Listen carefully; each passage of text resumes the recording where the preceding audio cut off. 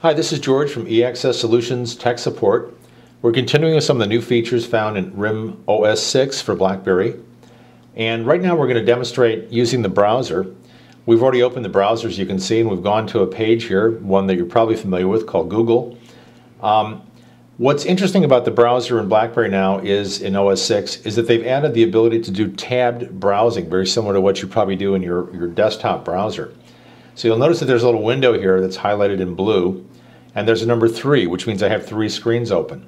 So I'm going to go ahead and click on that, and notice here's my Google window, but I can also go over to here, which is my uh, BlackBerry. I'm doing something where I'm trying to select which country at the RIM website that I want to look at.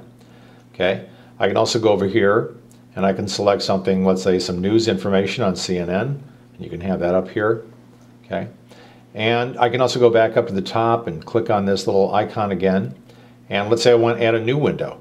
So now I'm going to go here and choose, uh, again, something from my bookmarks, just like when you normally open your browser. And you can choose to go to some site that you want to open and click on it and open that site as well.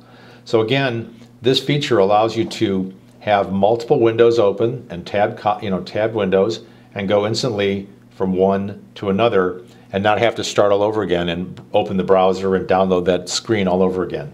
So it's a huge time saving for, for you. For more information, please visit www.eaccess.com or www.wirelessbyeaccess.com.